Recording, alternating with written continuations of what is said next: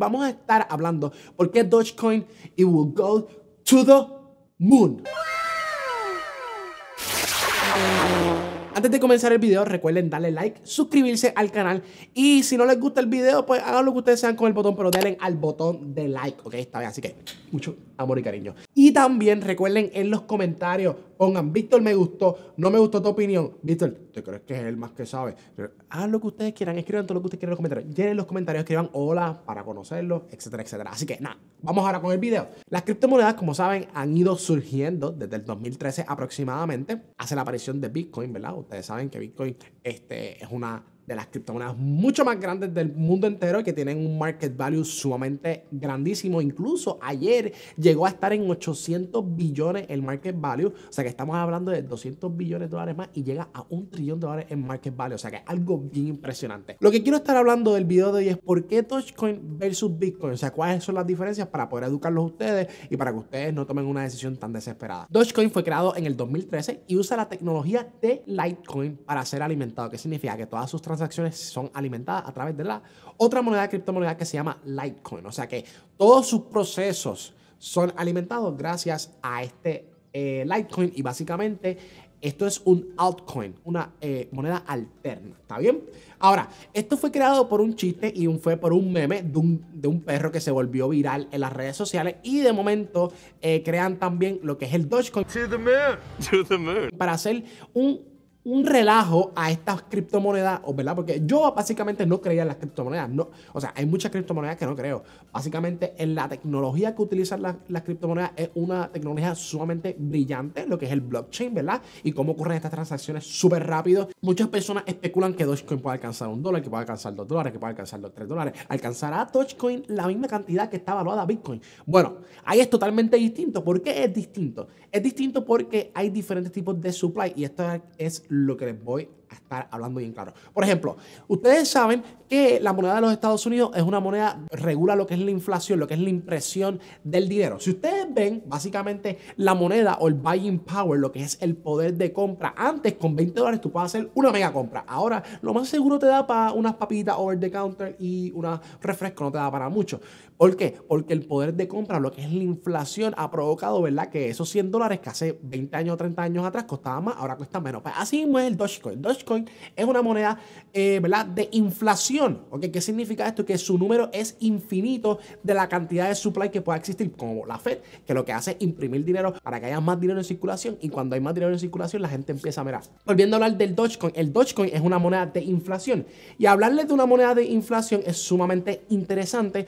¿Por qué? Porque la cantidad de Dogecoin que siguen creándose es ilimitada. ¿Qué significa esto? Que puede ser ilimitado la cantidad que pueda haber en circulación. Víctor, ¿cómo esto me puede afectar? Pues sencillamente el Dogecoin tiene un inflation rate de un 5%. Ese 5% son las monedas que van creadas. estamos hablando de que, que para que el Dogecoin incremente un montón de valor, porque ahora mismo tú me estás preguntando, ok, ¿Por qué yo debo saber esta información? Pues básicamente que la información que tú estás obteniendo ahora mismo es que el Dogecoin probablemente no vaya a alcanzar los 300 dólares como el Bitcoin porque eh, lo que es la oferta va más rápido que la demanda. La demanda tiene que ir más rápido que la oferta porque el Dogecoin imprime alrededor de 10.000 monedas cada minuto. O sea, ¿tú sabes lo que es cada minuto? O sea, ahora mismo acaba de pasar un minuto. Mientras que Dogecoin es una moneda de inflación, Bitcoin es una moneda de desinflación. ¿Qué significa esto? Que va en contra de lo que es la inflación y por eso le dicen que el Bitcoin es la moneda de digital. Bueno, la moneda no, el oro digital.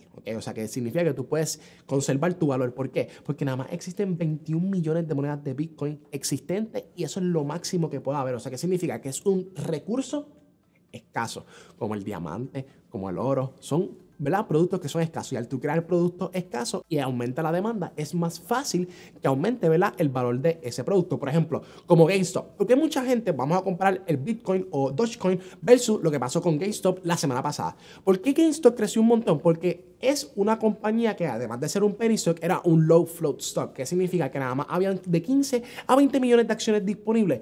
¿Qué pasa con esto? Que si tú tienes 15 millones de acciones disponibles y en el mundo existen 7 billones de personas, imagínate que de momento todo el mundo se ponga de acuerdo a comprar GameStop. ¿Qué va a pasar? GameStop de 8 pesos incrementó a 400 dólares. Es más fácil tú poder crear ese, ese, ese precio que incremente con una acción con GameStop versus con una acción de Apple, que Apple tiene 2 billones en circulación, que es un montón.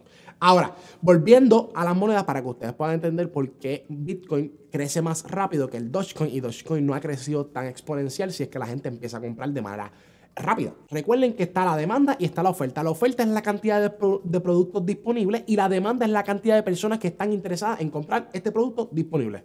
¿Entendieron? Al tú comprar más productos y obviamente hay poca oferta, pues empieza a bajar la cantidad de productos disponibles y las personas ahora están distribuyéndose, ¿verdad? Ese, ese producto. ¿Y qué pasa? Que eso hace que incremente el producto porque si el producto se va soldado, estas personas que son dueños la pueden revender a un precio mucho más caro. Bitcoin, ¿verdad? Al tener 21 millones de monedas disponibles solamente, en un caso de que las personas empiecen a comprar de manera agresiva, que significa agresivo, comprando en el ask, ¿verdad? Comprando de manera agresiva esta moneda, obviamente lo que hay son 21 millones de monedas disponibles que va, que a provocar esto, que el precio de Bitcoin incremente rápido. Pero ¿qué pasa si la gente deja de comprar Bitcoin y deja de vender Bitcoin? ¿Qué va a pasar con el precio de Bitcoin? Pues se va a mantener ¿qué? En los precios, precio que pueda estar ahora en 43 mil dólares, si no hay ningún comprador y vendedor, se va a mantener de la misma manera. ¿Por qué? Porque ya lo que hay son 21 millones de monedas. ¿Qué significa esto? Que va a conservar el valor. Y eso es lo interesante del Bitcoin. El Bitcoin puede ser volátil, pero no riesgoso ya. ¿Ok? ¿Entienden esa palabra? Puede ser volátil ahora mismo, pero ya Bitcoin dejó de ser riesgoso. Si nosotros vamos al Dogecoin, específicamente el Dogecoin, si la gente empieza a comprar de manera agresiva, puede hacer que incremente el precio. Pero automáticamente la gente deje de comprar de manera agresiva, al contrario de Bitcoin, no se va a mantener el precio flat. ¿Por qué? Porque cada minuto salen 10.000 monedas más, 10.000 monedas más, 10.000 monedas más. Y entonces al tener esa agresividad de oferta todo el tiempo, todo el día, cada minuto, pues eso va a provocar que, aunque la gente deje de comprar y de momento el precio suba a 7, a 7 centavos y la gente deje de comprar de esa manera agresiva, entonces el precio va a volver a caer. ¿Por qué? Porque hay más disponibilidad del producto que demanda. Básicamente, esa es la gran diferencia entre Bitcoin y de Dogecoin. Que, Dogecoin puede alcanzar 20 centavos, 30 centavos. Mira, eso es especulativo. La realidad es que yo no creo que vaya a alcanzar un dólar. Vuelvo y les digo, la oferta es mucho más rápido que la demanda que pueda existir. Que puede ocurrir milagros. Mira, ocurrieron milagros con eso. O sea, la velocidad de las personas que puedan comprar se puede volver agresivo. Pero la realidad es que no tanto para llegar a un nivel como Bitcoin, no tanto para llegar a un nivel como Ethereum y tampoco para llegar a un nivel como Litecoin. ¿Está bien? ¿Qué yo voy a hacer en mi opinión? Es que yo les voy a preparar un video donde voy a invertir mil dólares en Dogecoin y voy a ver los resultados o vamos a ver cómo lo vamos a hacer. Así que algo nuevo que queremos experimentar en el canal donde vamos a hablar de estos instrumentos financieros y no queremos que se quede ahí, sino queremos que ustedes experimenten con nosotros para que ustedes puedan ver los resultados. Así que yo personalmente voy a invertir mil dólares porque es lo que estoy dispuesto a perder. Recuerden que cuando tú vas a una inversión, eso lo que tienes que tener en tu cabeza. Es tienes que estar dispuesto a perder esa inversión inicial, porque las inversiones son riesgosas. Recuerden que lo que yo voy a estar haciendo es para que ustedes puedan ver cómo yo me desempeño en esto y voy a estar invirtiendo mil dólares. Si suben los mil dólares, súper bien. Si pierdo los mil dólares, súper bien también. O sea, yo lo que quiero es tener ese experimento y que ustedes puedan ver cómo fue el proceso de comprarlo. Sé que muchos de ustedes están diciendo, Víctor, no puedo comprar Dogecoin si vivo en Puerto Rico. Pues vamos a hacer un video donde vamos a enseñar la alternativa de donde puedes comprar Dogecoin. Y yo, personalmente, como les digo, voy a invertir mil dólares solamente y exclusivamente para el Dogecoin a ver cómo me va. Así que recuerden suscribirse, denle like Escribe en los comentarios si les gustó o no les gustó el video, qué les parece. Recuerden darle a la campanita para poder ver los próximos videos que vamos a estar lanzando. Y recuerda que este video se va a extender a una parte 2, puede ser, bueno, una parte de los dos no, pero una parte de experimento, que vamos a estar experimentando la moneda. Ya apliqué a crypto.com, así que la, plataforma me está procesando todo, todo el trabajo para entonces poder comprar esta moneda que se llama Dogecoin. Así que nada, Dogecoin to the moon.